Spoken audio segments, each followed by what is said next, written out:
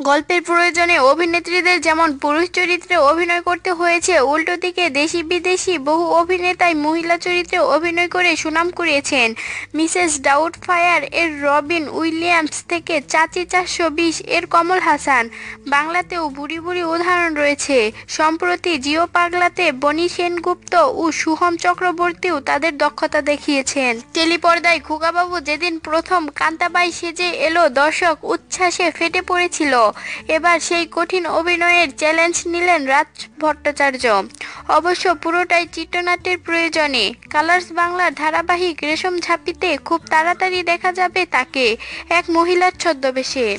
সাম্প্রতি এপিসিডগুলিতে দেখা গিয়েছে যে রূপমতির চক্রান্ত ফাঁস হয়ে গিয়েছে এবং পাশাপাশি সূর্য ও নন্দিনীর ছদ্মবেশেও প্রকাশ্য এসে গিয়েছে।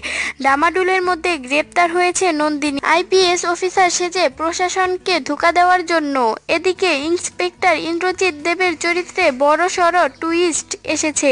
এই চরিত্রের অভিনয় করেছে রাজ ভট্টাচার্য। তেইশে ফেব্রুয়ারি এপিসোড দেখা গিয়েছে যে নন্দিনীকে জোর করে আটকে রাখার জন্য এবং পদমর্যাদা অপব্যবহারের জন্য সাসপেন্ড করা হয়েছে ইন্দ্রজিৎ দেবকে।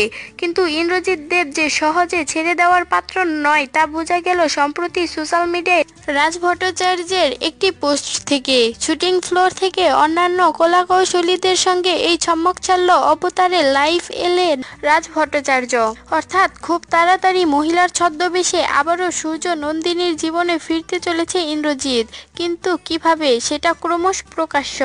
বিনোদন জগতের আরও নিত্য নতুন খবর পেতে আমাদের চ্যানেলটি সাবস্ক্রাইব করুন।